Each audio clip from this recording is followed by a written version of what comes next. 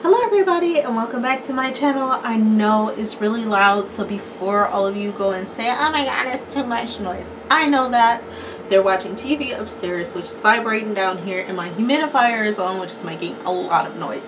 I'm going to try to turn this off once I start explaining everything but for right now I just want to tell you what we're doing today. So I decided to make a new advent calendar because the one I made previously and you can check that video out here um, but I made one previously and it was made out of like a harder um, felt board with some little um, squares I made and numbers and everything and I just kind of put it together on like a wooden dowel and just kind of hung it up. Well, I'm getting tired of looking at that one so I decided to go ahead and make a new one. So how I'm going to do that today is with this whiteboard. I have some squares here that are, these are I think these are like three and a half or four by four squares I can't remember. But I made these little pocket squares. Basically what I did is I found some scrap fabric um, last night and I just kind of folded the fabric over so that it's already folded when I cut. And so all I had to do was just sew around the edges here and I left an opening. So what I'm going to do is turn these right side out like so and then you have the little pocket. Now if you are obsessive compulsive like me you will probably turn these in and iron that down or probably sew that down so it doesn't show the frayed edges. But this is what I'm going to use and where the whiteboard comes in is I am going to place these on this whiteboard in the shape of a tree and I am going to use my silhouette to make little circled numbers for the 24 days until Christmas. So today is December 1st and I'm going to get this video up today. Of course it's going to be late guys um, but yeah this will be the first of many tutorials that we do for Christmas holiday or Hanukkah whatever it is that you celebrate. I will be doing tutorials all this month and I'm so excited about because even though they're simple and easy tutorials to do they're fun. You could do them with kids you could do them by yourself but I'm really excited about this advent calendar and I want to get it done before Cam and I get home so they can see it. So again we're going to use this whiteboard. We're going to use these scrap fat pieces of fabric and we're about to head over to my silhouette so I can show you how to make the circles with the little numbers inside of them. So let's go. Okay everybody, so I'm going to show you how I made these little numbers. It won't focus, but I'm going to show you how I made these. So here I have these little designs that I got um, from Silhouette. They were free because I pay monthly for the little thing or whatever so um, I'm not grouping anything together because I'll show you why. So when you're using the sketch pens, there are several ways you can go about this. So what I'm going to do here is go to Send, which is normally where you go to cut. Um, I don't want this sketched. So what I'm going to do is click on just the ornament and no cut. And see how it shades it out? So when I go to sketch it's only going to sketch what's in red. So I'm going to do that for all of these. No cut. No cut.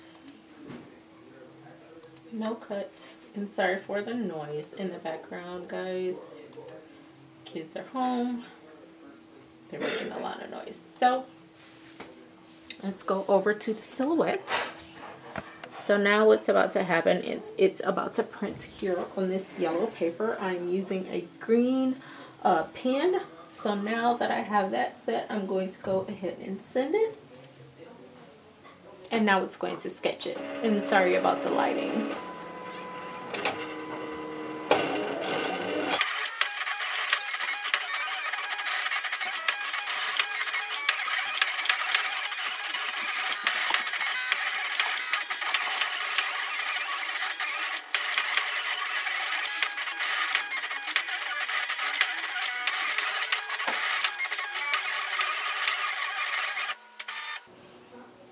Now as you can see, it sketched out the numbers. So now what I want to do is I'm going to go back to the computer screen and do the same thing, but just now I'm going to do no cut on the numbers and do cut on the bulb. So now you see the bulb is in red. So what I'm going to do is switch out the sketch pen for the blade and cut as normal. So for those of you who don't know how to do this, I will show you. And again, sorry about all the noise.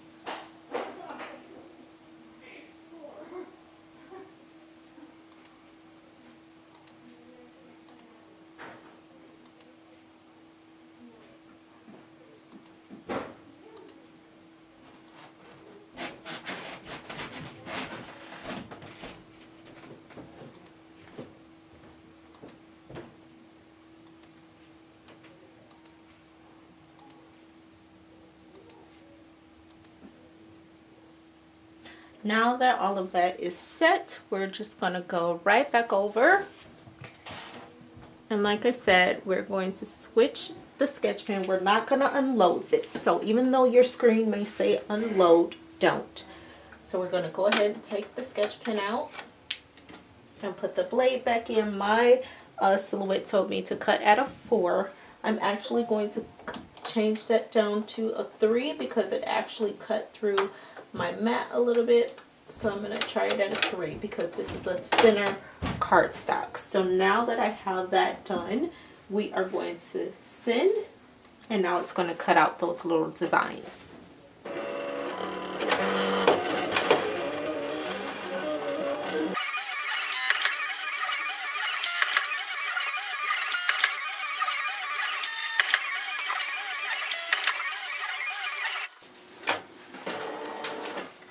Okay, at this point now you can go ahead and unload because it's done its job. And this is what it looks like. So then you just go ahead and do as normally and pull back the part that you don't need. Set that aside for now and there we have our designs. So I'm going to go ahead and finish the rest of the numbers and then we'll go ahead and assemble our advent calendar. So as you can see, I kind of got this laid out. Um, I glued just the first three numbers, but I'm playing around with it because some of these, unfortunately, are longer and bigger than the other ones, but I just went ahead and hot glued the numbers on here. So this is kind of what it looks like. So what I'm going to do once I have all this glued and I kind of hot glued these down, but you can still get inside here and put whatever you need to put in here. These ones are not. These are just laid here. I'm just kind of playing around with it, seeing how I want the placement to go.